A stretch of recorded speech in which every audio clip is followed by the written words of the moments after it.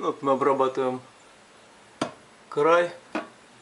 Видите, довольно хорошо он ровно срезается, прям как обычный гипсокартон.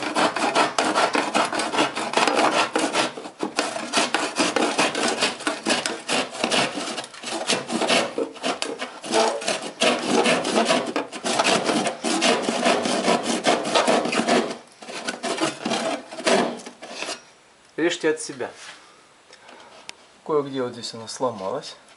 Но это все уголком закроется отлично.